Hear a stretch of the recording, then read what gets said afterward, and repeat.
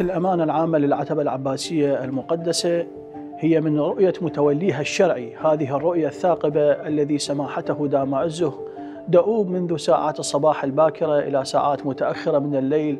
صاحب هم كبير لهذا الشعب المبارك هذا الشعب المعطاء بالبحث عن الكفاءات والطاقات العراقية. وهذه الجامعة اختصت باختصاصات عديدة منها الاختصاصات الطبية والاختصاصات الأخرى المهمة لخدمة المجتمع. واليوم أسس معرض من شركات العتبة العباسية المقدسة. بين نتاجاته وفتحت الشركات أذرعها لتبني هذه الكفاءات التي تتخرج من جامعات العتبة المقدسة من جامعة الكفيل لتباشر رسالتها التي نهلت هذه الرسالة من هذه الجامعة والجامعات الأخرى التابعة للعتبة. هذه الرسالة التربوية هذه الرسالة الوطنية التي نحن نطمح أن يكونوا في خدمة هذا البلد بلدهم في خدمة آبائهم في خدمة أمهاتهم في خدمة أبنائهم. نظمت جامعة الكفيل بالتعاون مع آه، الشركات والمؤسسات التابعة للعتبة العباسية وبعض المؤسسات والشركات الأخرى معرض آه، الوظائف الثاني آه، لمدة أسبوع يستهدف هذا المعرض تسليط الضوء على الشركات التي ممكن أن يعمل فيها خريج جامعة الكفيل وأبنائنا وبناتنا المتخرجين من هذه الجامعة لدى شركات ومؤسسات العتبة العباسية ولدى الشركات والمؤسسات الموجودة في بلدنا وعراقنا الحبيب. هذا من جهة من جهة أخرى آه، تعشيق عجلة التعاون وإيجاد آفاق واقعية عملية للتعاون ما بين المؤسسات لإنضاج الرؤى العلمية وتحديث المناهج التربوية بشكل يحاكي ما يريد آه، المجتمع وما تريد آه، الشركات لتخريج جيل واقعي يؤمن بالطريقة العملية واستخدامها بشكل واقعي يساهم في إيجاد الحلول الناجعة للمشاكل التي يمكن أن يواجهها الخريج إن شاء الله تعالى في العمل في قابل الأيام عند توظفه في مفاصل العمل التطبيقي.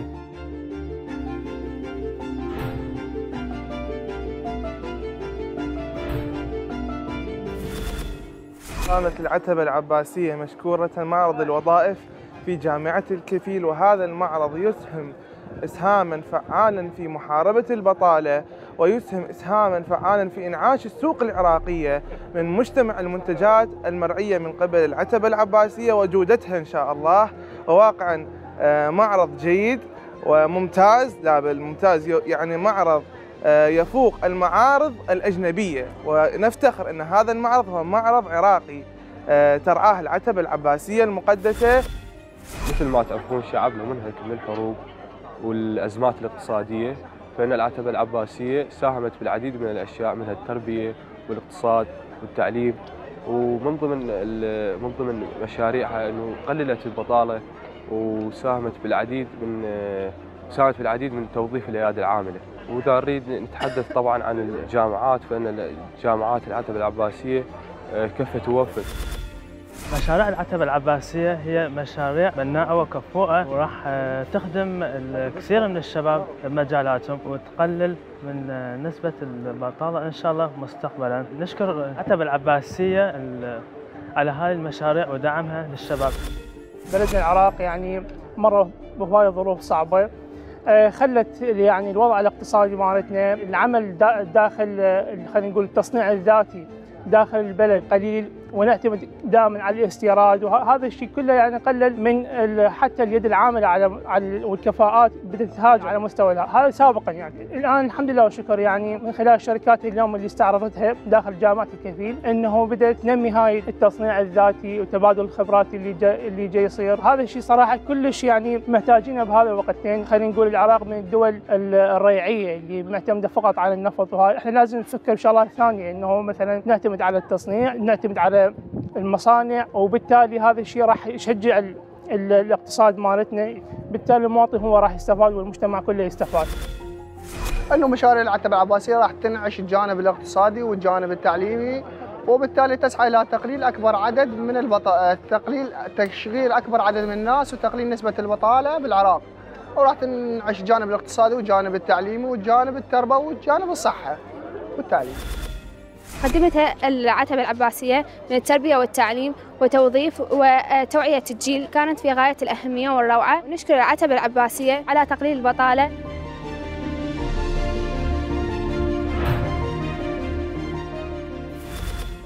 مشروع التطور والتطوير في مرافق الأمانة العامة للعتبة العباسية المقدسة أقصد أقسامها وشعبها ومواقعها وشركاتها ومستشفاها مستشفى الكفيل التخصصي الجانب التطويري هو الجانب الأساسي في عملنا.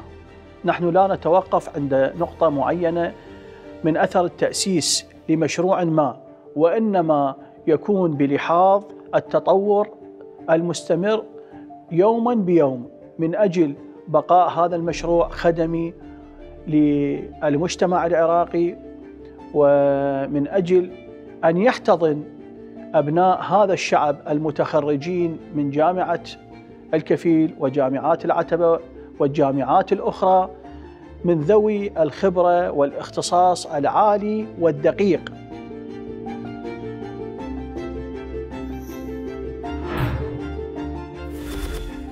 بالبداية أحب أقدم شكر للعتبة العباسية المقدسة على توفير جميع الاستثمارات وجميع الخدمات التي تخدم شعبنا آه، وبلدنا في هذا الوقت الحالي. وأحب أقدم شكر إلى جامعة الكفيل على استضافة آه، معرض الوظائف معرض الوظائف الثانية آه، وتشجيع الكفاءات العراقية وتوظيف أيضا المواطنين من الشعب ومن الكفاءات العراقية. مشاريع العتبة العباسية اليوم اللي استعرضوها آه، على معرض الوظائف هاي الشيء راح ينعش ينعش الاقتصاد وراح تشجع الوظائف. طبعا هي سبق بهذا الشيء على أكثر من مجال لكن هذا الشيء راح يزيد إن شاء الله من المستوى الاقتصادي للبلد. كثير من الناس وظفتهم بهذه المشاريع وبالتالي راح الكثير من العوائل خلينا نقول اللي المستوى آه، الاقتصادي مالتهم آه، متضرر راح يستفادون آه، مشاريع العتبة العباسية متعددة ومختلفة هاي المشاريع العتبة العباسية آه، تفيد المجتمع العراقي وتقلل تقريبا من البطالة الموجودة بالمجتمع العراقي وتنهض بالبلد اقتصاديا وتساعدنا على إنه ينهض البلد اجتماعيا يعني وإحنا فخورين آه، بهاي المشاريع الموجودة بالعتبة العباسية المقدسة. أنا وبصفتي أحد طلاب جامعة الكفيل وهي التي تابعة إلى العتبة العباسية المقدسة.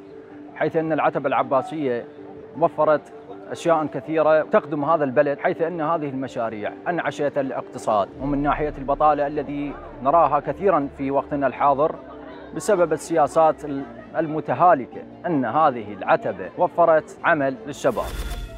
مشاريع العتبة كلش مهمة في الوقت الحالي مع وضع البلد الاقتصادي اللي يعتمد أكثر شيء على النفط بهدف التنمية وتنمية الاقتصاد آه، الصحيحة لأجل ترويج بما يعرف بصنع في العراق أكثر من ما إنه يلجأ المواطن للمستورد ويلجأ للمواد الثانية من الشركات الصينية أو من الشركات الأخرى بحيث إنه يقدر يقوم يلجأ إلى الشركات العراقية للحصول على المنتجات بهدف تحقيق الاكتفاء الذاتي وتحسين دخل الفرد من الناحية المالية. نسبة إلى أن الموضوع يعتبر من أهم المشاكل في الوقت الحالي خصوصا لمن هم أعمارهم من حول 18 إلى 25 سنة.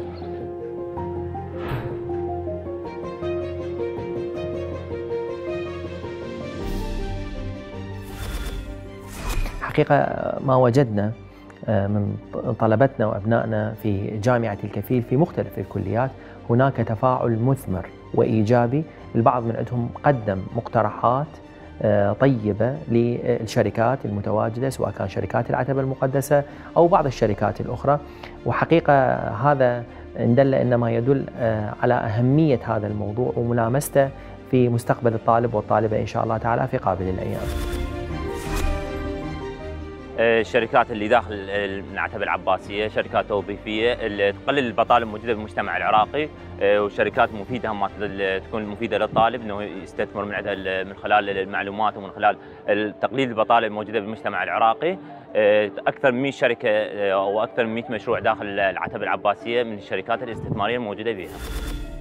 العتبة العباسية قدمت مشاريع كثيرة التي تدر في مصلحة هذا الشعب أو والوطن ومنها المشاريع التعليمية ومنها المشاريع الغذائية وأنها قدمت منتجات كثيرة وأنعشت المنتوج المحلي الذي من خلاله لن نحتاج إلى استيراد مواد أخرى. طبعا اليوم عندنا معرض الوظائف الثاني. هذا المعرض جاي يتيح فرصة عمل للشباب خاصة الخريجين يعني الإنسان من يتخرج يحتاج إنه مكان حتى يطلع طاقاته. لازم يعني إنه يتطور. فالعتبة العباسية جاي يساهم كلش بشكل كبير وفعال بتطوير الشاب العراقي خاصة بعد التخرج. إن مشاريع العتبة العباسية الخاصة بالتدريب والتوظيف والتعليم من أهم المشاريع الرائدة. نحن كطلاب بأمس الحاجة إليها ونتمنى أن هذه الفكرة الرائدة تتطور وتصل إلى المستوى الذي يكون فيه بلدنا العراق من أهم البلدان في العالم. مشاريع العتبة العباسية هي كثيرة آه، من عندها التربية والتعليم والتوظيف فهي ربت جيل واعي وقضت على البطالة ومن ناحية التوظيف فهي وظفت وهذا اليوم أهم شيء نحتاجه اليوم بالعراق إحنا صراحة يعني. وهذه الرؤية هي رؤية مرجعيتنا الدينية العليا في النجف الأشرف وأكدت خطابات المرجعية الدينية العليا في النجف الأشرف أدام الله ظلها الوارث في خطب الجمعة البحث عن الطاقات العراقية البحث عن العلماء العراقيين البحث عن الكفاءات العراقية المخلصة لبناء هذا البلد.